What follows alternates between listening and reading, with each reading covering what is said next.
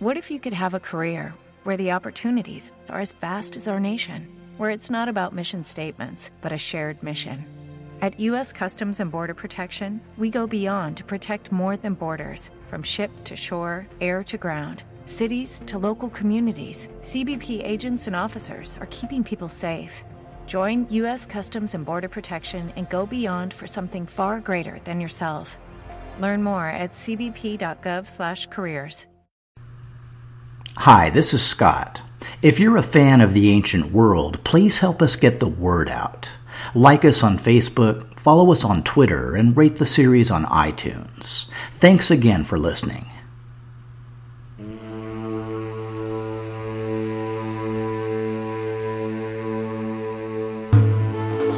The Ancient World Bloodline, Episode B10 Insurgo.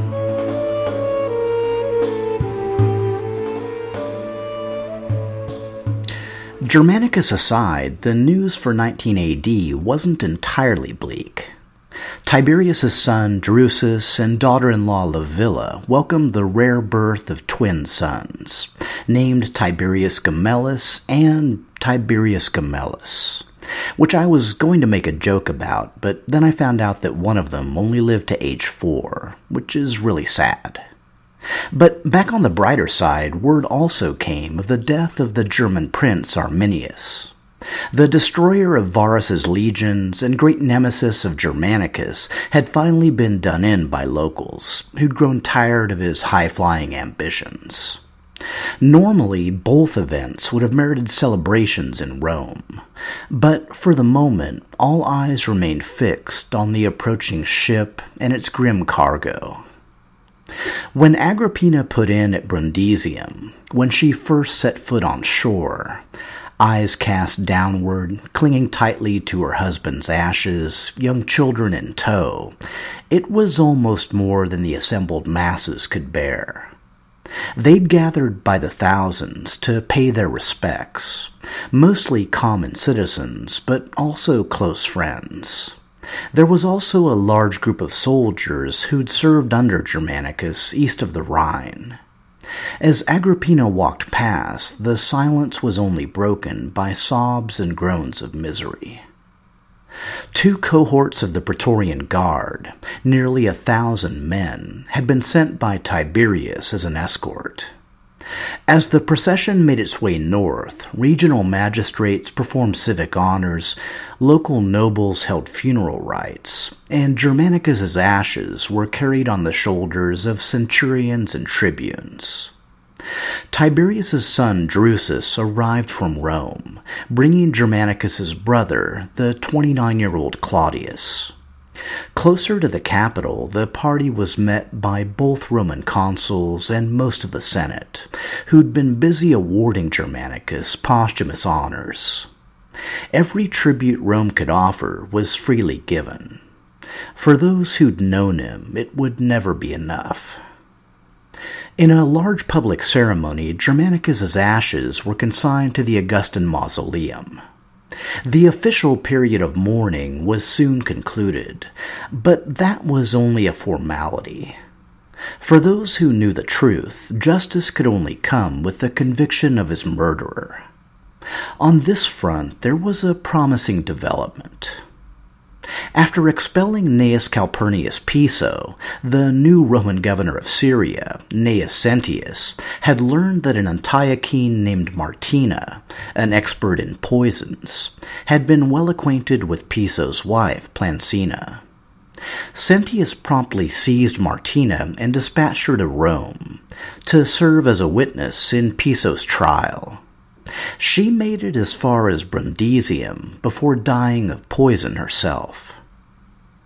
A short time later, Piso arrived in the capital and settled into his mansion overlooking the Forum. Charges were quickly brought against him corrupting the legions, disobeying a superior, abandoning his province, then trying to retake it by force, and lastly, the murder of Germanicus by poison. The case would be heard by the Senate and overseen by Tiberius.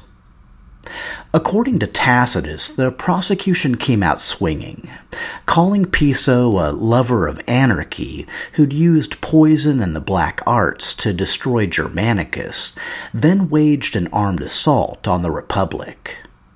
It soon became clear that as far as bribing soldiers, disobeying Germanicus, and fighting Sentius, Piso didn't have much of a leg to stand on. It was only the crime of murder that demanded more evidence.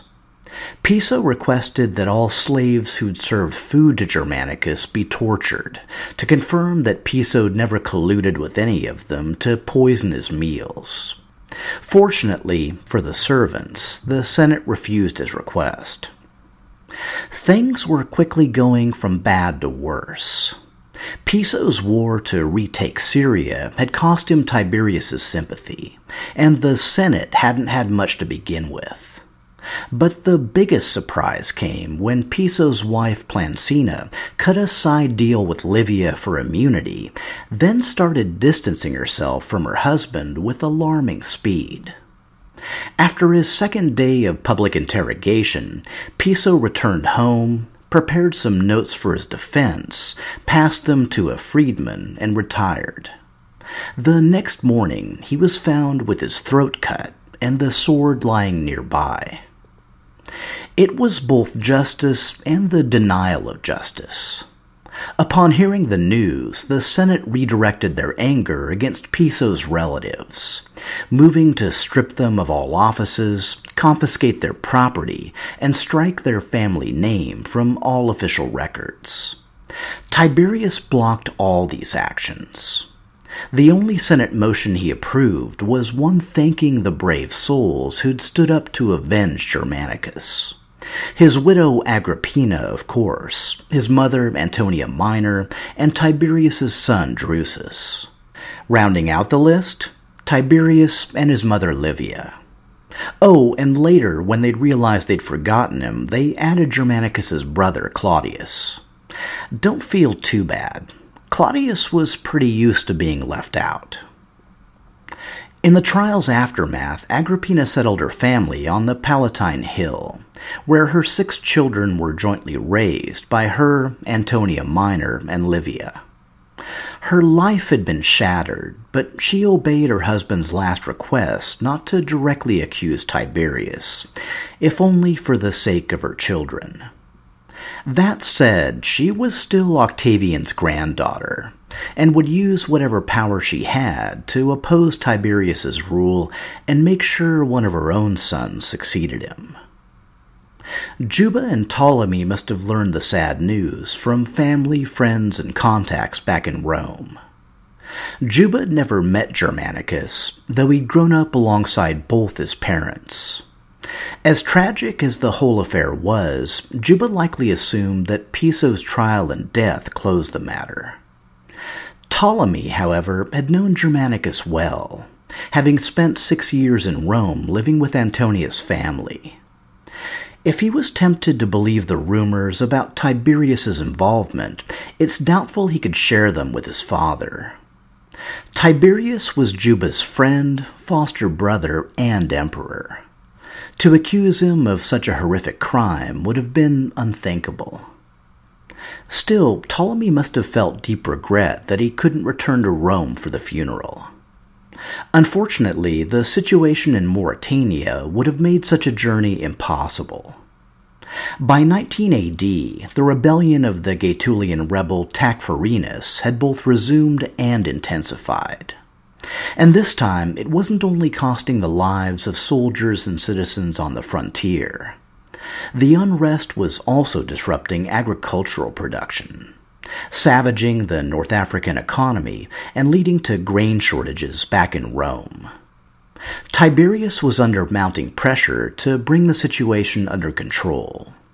A pressure keenly felt by the new African proconsul Lucius Apronius, as well as the 67 year old King Juba II of Mauritania. While Tacfarinas mainly relied on sudden and devastating raids, he eventually grew bold enough to try a new tactic. In 19 AD, his forces laid siege to a Roman fort near the Pagyda River, trapping a cohort of soldiers inside the walls. Their commander, an old school no nonsense type named Decrius, considered the siege an insult to Roman honor. He addressed his men, drew them up outside the fort, and offered battle to the rebels. Unfortunately, they took him up on the offer. Now, don't get me wrong, Decrius was both experienced and brave.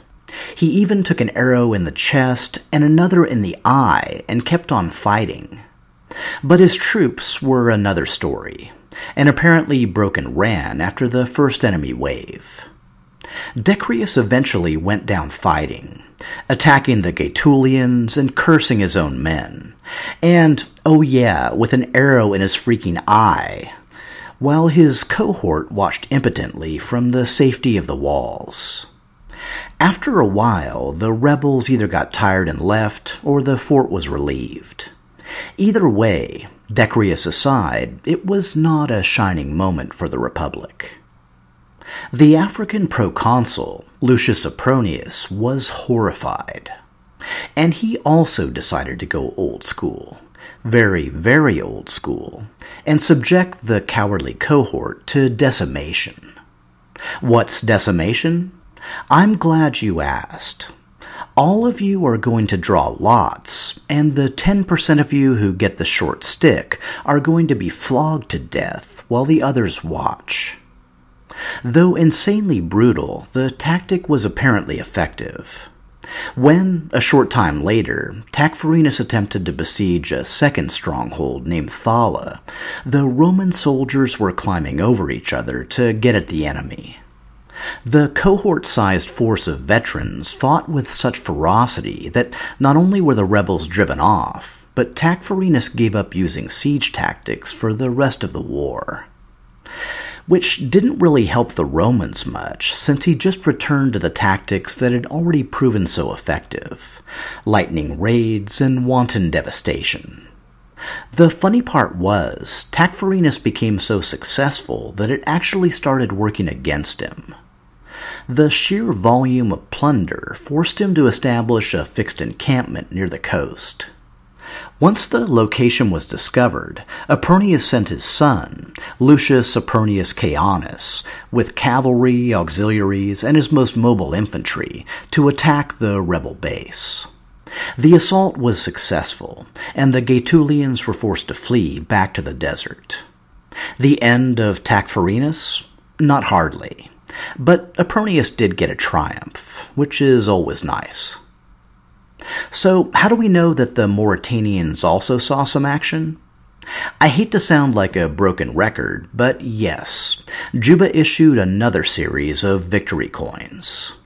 And I can only assume if you collect them all, you can enter a drawing for some valuable prizes. Or something. Anyway, by this time, the armed forces of the kingdom were almost certainly being led by his son and co ruler, Ptolemy. Back in Rome, Tiberius and Drusus had assumed a similar dynamic. In 21 AD, after governing Illyricum for four years, Drusus assumed his second consulship alongside his father. Tiberius then decided to spend a big chunk of the year in Campania. While his plan was pitched as giving Drusus some valuable on the job training for his future role as emperor, it had the added benefit of letting Tiberius escape the duties and pressures of everyday life in Rome. And then sometimes things came up demanding Tiberius's personal attention. Like, oh, I don't know, maybe when Tacfarinas sent an embassy to Rome, threatening to resume hostilities unless he was granted African lands for himself and his army. According to Tacitus, by all accounts, no insult to himself and the nation ever stung the emperor more than this spectacle of a deserter and bandit aping the procedure of an unfriendly power. This, this Tiberius would make time for. As the new African proconsul, Tiberius chose Quintus Junius Blaesus. While he was an experienced commander, Blaesus's main qualification was that his nephew was Tiberius's right-hand man, the Praetorian prefect Sejanus. Blaesus was dispatched to Africa along with an additional legion and associated auxiliaries, bringing total African forces up to around 20,000 troops. His sole mandate was to deal with Tacfarinas once and for all. Blaesus began his campaign by offering amnesty to any rebels who put down arms. After four years of war, successful or otherwise, there were plenty of tribesmen ready to take him up on the offer. Next, Blaesus decided to shift Roman tactics to match his opponent. He split his troops into three columns, one headed by him, another by his son, and a third under the legate Cornelius Scipio. Yes, you must always bring a Scipio with you to Africa. It's like an unwritten rule. One column was tasked with blocking the pass Tacfarinas used to retreat to the deserts of Garamantia. The second was ordered to secure the region around the old Numidian capital of Cirta. And the third column was split up among dozens of forts and other strong points across the province, each commanded by a veteran centurion. The concept was that no matter where Tacfarinas turned up, he'd find Romans waiting, and no matter where he tried to flee, he'd find Romans blocking his path. It was a good plan. In addition, Blaesus dispensed with the Roman custom of recalling his men to winter quarters, and instead kept the pressure on year round. In fact, Roman troops began going on the offensive, tracking down and attacking rebel camps, and keeping Tacfarinas constantly on the run. Blaesus's biggest victory came when he finally managed to capture Tacfarinas' brother, which, if not the leader himself, was still pretty significant.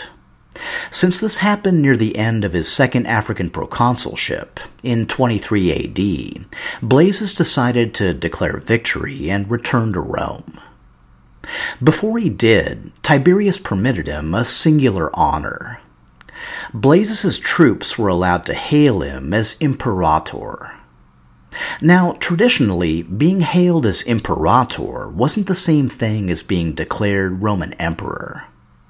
It was mainly just a way to publicly recognize a successful campaign executed by a popular general. Multiple commanders could be hailed as Imperator at the same time, and it didn't really even confer any special privileges. It certainly did not mean that you immediately had to engage all other imperators in a bloody struggle for supremacy. No, all that fun came much later. For now, it was still just a nice honor. But either way, for you trivia buffs, this was the last time the title would be granted to anyone outside the imperial family. And for you coin collectors, this was also the year that Juba issued his final set of Mauritanian victory coins. So get them now while supplies last. The previous year, Tiberius had also asked the Senate for additional honors for his son Drusus. This time it was tribunician powers, the same powers Tiberius had been granted as Octavian's official heir. Despite his volatile temperament, Drusus was maturing into a respectable young man. I mean, sure, he still drank way too much, and was still too big a fan of gladiator fights. But he was also a victorious general, a talented administrator, and a devoted family man. Married for 19 years to Germanicus' sister Livilla, and the father of three children. 19 year old Julia, and his twin sons, Tiberius Gemellus and Tiberius Gemellus. Okay, maybe creativity wasn't his strong suit. His reputation had also been burnished by his vigor in pushing for Piso's prosecution, something done out of his deep love for his adopted brother. In the trial's aftermath, Drusus had also proven to be a constant friend to Germanicus's widow and children. His partnership with Tiberius was generally seamless, with one major exception.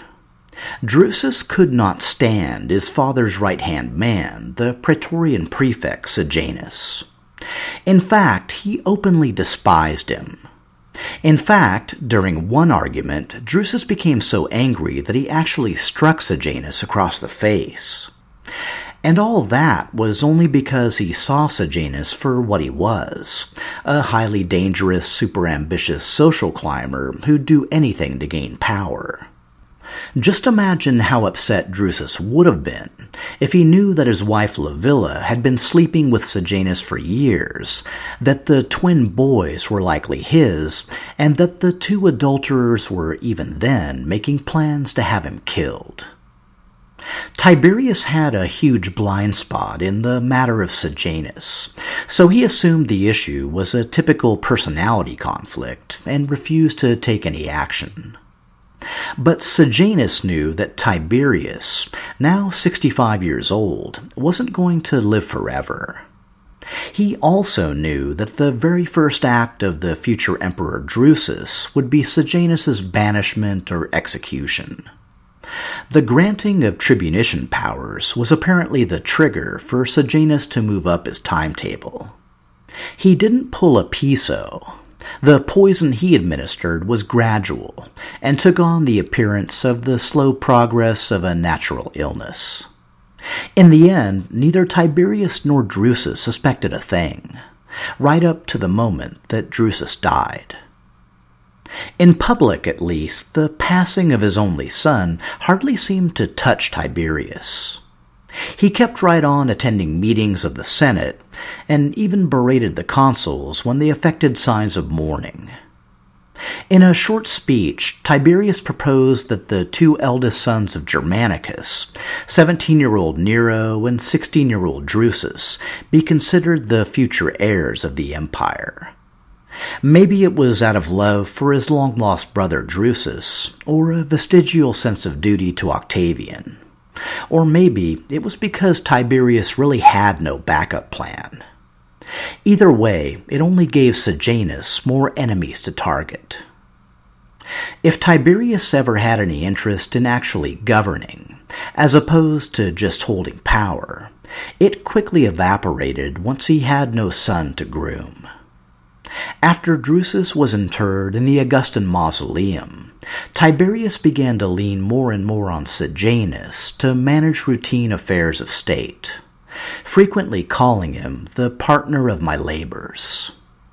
He had statues of Sejanus erected in the capital, appointed his friends and family to prominent posts, and gave him free rein in running what was essentially a 5,000 member strong internal security force. Ultimately, the partnership would result in years of bloody terror for both Octavian's family and the people of Rome. But all that was still a few years away.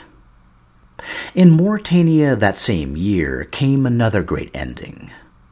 King Juba II, only son of King Juba I of Numidia and descendant of the first Numidian king Massinissa, died. He was 71 years old and had ruled the kingdom of Mauritania for 48 long years, 20 of them alongside his wife and partner, Queen Cleopatra Selene. As a young boy in Numidia, Juba could have easily died as a casualty of Roman civil war. But instead, his fostering in the family of Julius Caesar had given him a long life full of adventure, exploration, scholarship, and, all too often, warfare. It's not recorded whether Juba fell in conflict against the Gaetulians, or more likely, and more hopefully, in his bed, lost in thoughts of more peaceful days. Only his final resting place is known, alongside Cleopatra Selene in the Mauritanian Royal Mausoleum. Juba's memorial service was likely officiated by his son Ptolemy, and attended by family, friends, and dignitaries from Africa, Iberia, Rome, and other foreign lands. The great poet Crinagoras of Mytilene was long dead, so there'd be no epigram to mark his passing. And Strabo, Juba's old friend from his youth in Rome, was 86 years old and unable to make the journey. But still, at the time of his death, Juba was the longest reigning Roman client king of the largest Roman client kingdom, and a widely respected figure in both government and scholarship. His passing would not go unnoticed. And, in at least one quarter, the news was greeted with joy. Deep in the deserts of Gaetulia, Tacfarinas was reconstituting his army drawing from the near infinite pool of disgruntled nomads eager for plunder. With Juba dead and Blaesus having taken his second legion and returned to Rome, the time was clearly ripe for another major offensive. Only this time the goal wouldn't just be land concessions, but the total expulsion of Roman influence from Africa and Mauritania which very much included the new Mauritanian king, Ptolemy I.